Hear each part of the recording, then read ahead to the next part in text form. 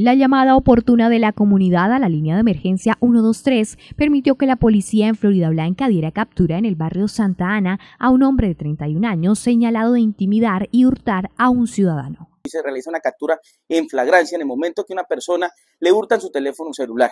En ese momento se activa todo nuestro modelo nacional de vigilancia comunitaria por cuadrantes y se empieza, se empieza la búsqueda de esta persona, la cual se captura en flagrancia. Se hace la captura de esta persona y la recuperación del elemento celular. Este delincuente sería responsable de haber cometido varios hurtos, quedando registrado en grabaciones en diferentes hechos delictivos en el mismo sector.